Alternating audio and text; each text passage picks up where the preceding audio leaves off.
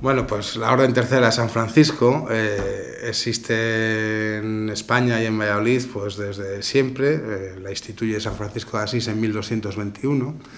Lo que no sabemos es cuándo se forma en Valladolid una hermandad como tal. ¿vale? Tenemos puesto un origen o una fundación finales del siglo XV, pero no tenemos constancia sí sabemos que a lo largo de, posteriormente pues hay muchos, eh, muchos datos que nos indican pues, bueno, que existía una capilla propia en el convento de San Francisco, en la Plaza Mayor de Valladolid y demás, pues bueno, con el paso de los años, pero anteriores a esos datos se sabe que existía algún terciario particular, pero no como una hermandad como tal constituida en Valladolid. Por eso, pues bueno, tenemos esa dificultad de saber exactamente una fecha cierta. Es verdad que a lo largo de la historia en la Semana Santa Valladolid pues siempre ha habido cinco cofradías penitenciales antiguas, que, son las que, las que datan del siglo XV y siglo XVI, y en nuestro caso es una orden tercera, que nunca ha sido considerada como cofradía. ¿vale? Eh, de hecho, eh, a lo largo de los siglos pues, se realiza la penitencia, que somos la orden de la penitencia, eh, pero no se destacan especialmente tampoco la participación en las procesiones. ¿vale? Eh, la participación, pues sí tenemos datos de los últimos casi 200 años, pero tampoco existen datos anteriores, aunque se presupone que se participaba. Eh, sí que hay referencias de alguna procesión en San Francisco y tal, que sí que se participaba. bueno, tenemos ahí algunas lagunas, pero bueno, de la asistencia, por supuesto que sí. Ahora estamos en, donde siempre estamos donde estén los franciscanos, ¿vale? Y entonces estamos en el convento de Paso Zorrilla en la Inmaculada Concepción, ¿vale? En la parroquia de la Inmaculada Concepción.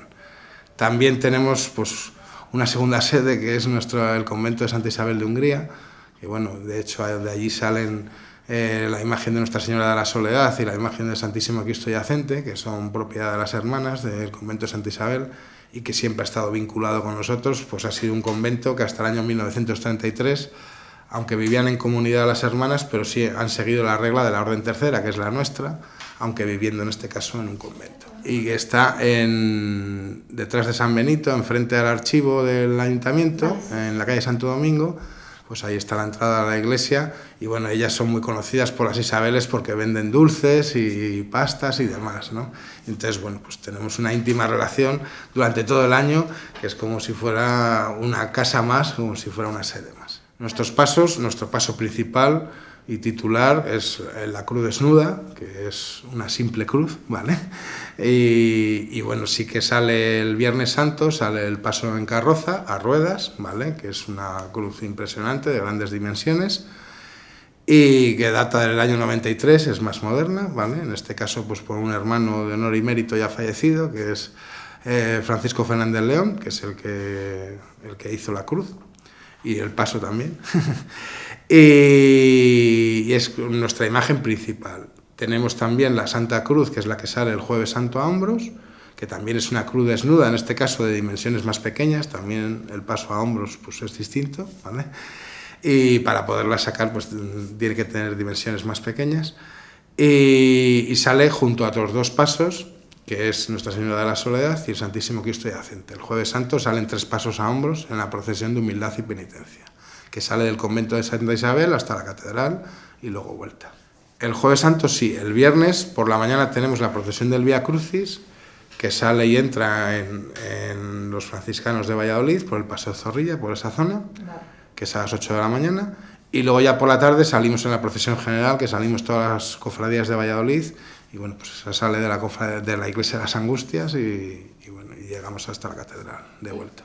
Aproximadamente seremos ahora 460, una cosa así.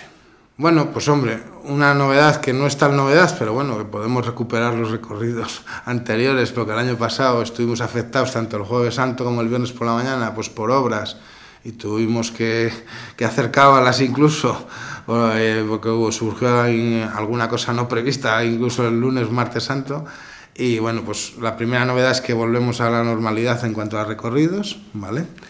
Y, y, luego, pues sí, siempre hacemos alguna cosa. Hemos restaurado unos hacheros antiguos, que bueno, no sabemos si se utilizarán montajes o en alguno de los pasos, bueno, alguna cosita, pero bueno, eh, siempre estamos continuadamente haciendo cosas y bueno, pues así como novedades, así grandes novedades. Eh,